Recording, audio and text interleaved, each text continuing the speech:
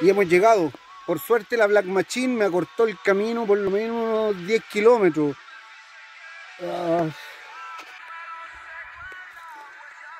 Y allá donde se ve ese camino, allá, allá, por ahí arribita se ve un camino en un monte, ahí, por ahí, por allá quedó la Black Machine. Así que tengo que hacer todo este descenso y llegar hasta allá. Pero me voy feliz. Tenemos un nuevo capítulo.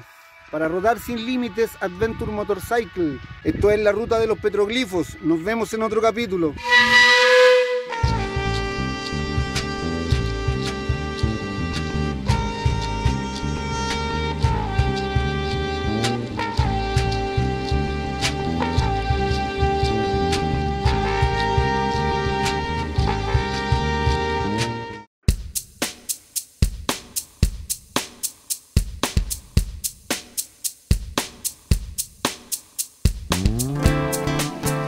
Hoy, en un nuevo capítulo de Rodar sin Límites Adventure Motorcycle, nos dirigimos por tercera vez hasta la localidad de Petorca, rodando tras la huella de las culturas prehispánicas en la ruta de los petroglifos.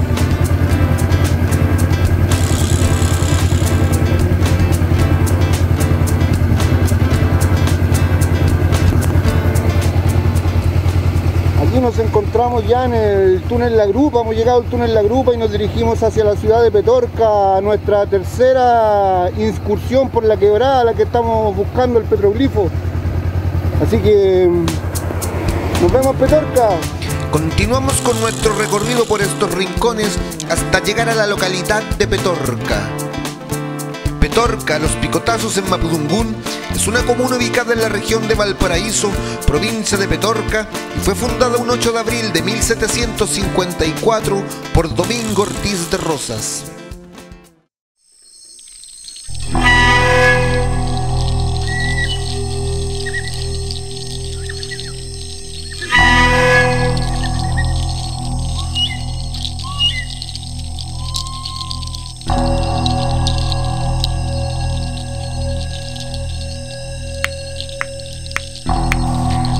Encuentro por tercera vez en lo profundo de esta quebrada, motivado para ascender al cielo y poder hacer hallazgo de un petroglifo al que le sigo el rastro de hace ya varios años.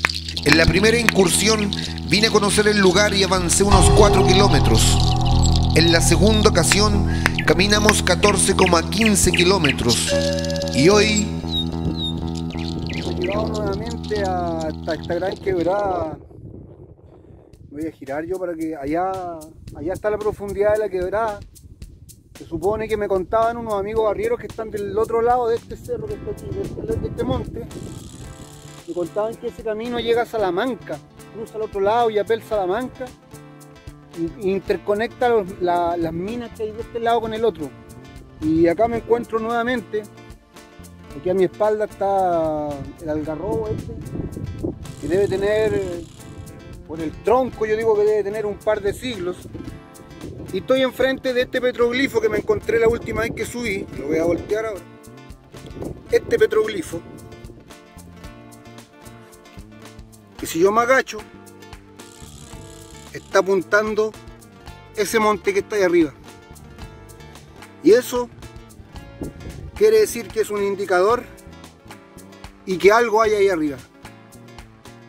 Y que es precisamente donde yo quiero subir ahora. Comenzamos paso a paso a avanzar por la falda del monte cuesta arriba, acercándonos poco a poco a una de sus quebradas lentamente, para realizar el ascenso más rudo en 45 grados, desde donde ya alcanzábamos nuestra pequeña primera cima.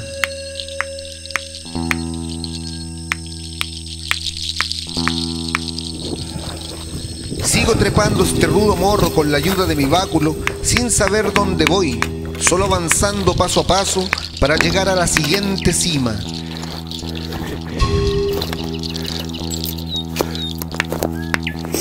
Ya hemos ganado una mayor altitud y sigo avanzando hasta la próxima cima y el fantasma de no ser hallazgo estando tan cerca sigue creciendo.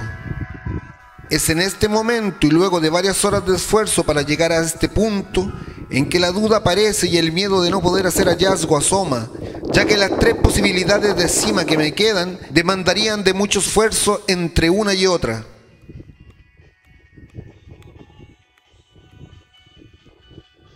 Desde este punto levanto el dron a explorar, cuando muy emocionado comienzo a subir los últimos 100 metros que me separan de este enorme floramiento rocoso tatuado por los antepasados.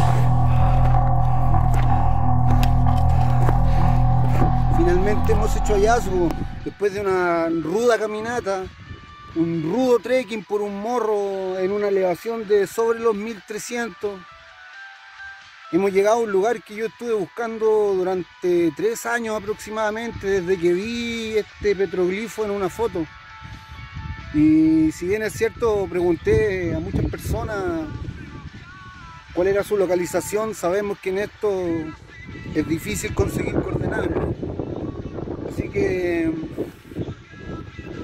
aquí mi amigo Juan me acercó y pude hacer hallazgo. Le conté yo que hace mucho tiempo que quería conocer este petroglifo y, y, hemos llegado. Por suerte la Black Machine me acortó el camino por lo menos 10 kilómetros. Ah. podemos ver todo el valle, el valle del Sobrante, Chalaco,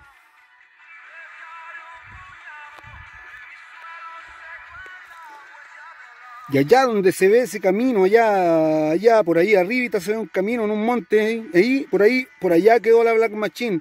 Así que tengo que hacer todo este descenso y llegar hasta allá.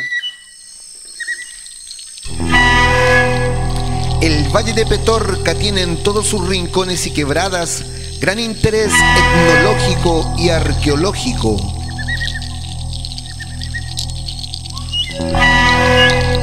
Y aquí me encuentro finalmente en la inmensidad de este valle, terminando mi búsqueda de años y frente a este increíble y mágico lugar por donde el hombre originario caminó y transitó por estos rincones y quebradas en el año del ñaupa, lugar que guarda silente los mensajes tatuados en la roca por nuestros antepasados hace cientos y miles de años.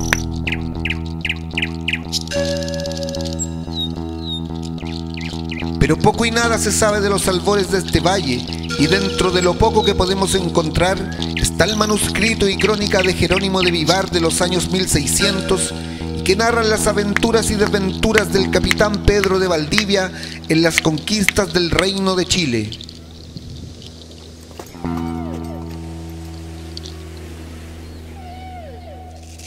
Respecto a esto, en el capítulo 26 que trata del valle de Combarbalá hasta el valle de Aconcagua y de los indios y cosas que hay en él.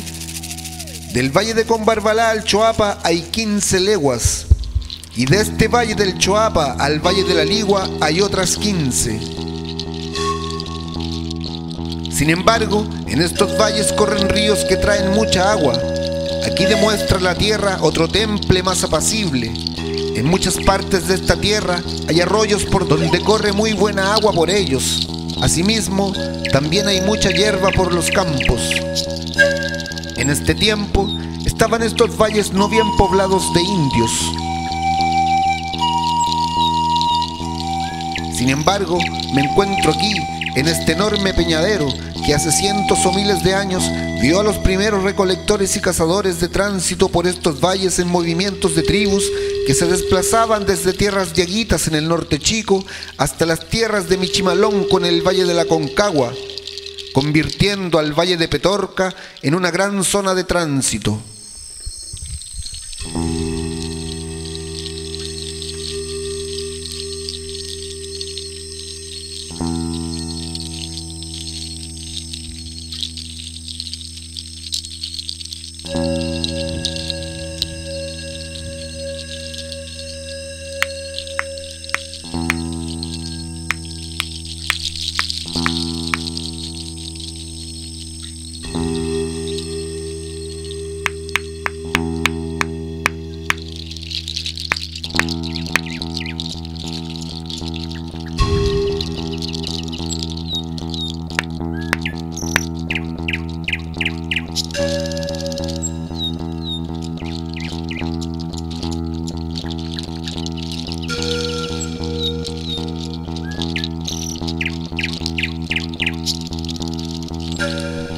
Sin duda alguna nos encontramos en otro rincón increíble de este Chile prehistórico y ocultos en los valles de Petorca que guardan silentes estos mensajes y escenas plasmadas en la roca hace cientos o miles de años.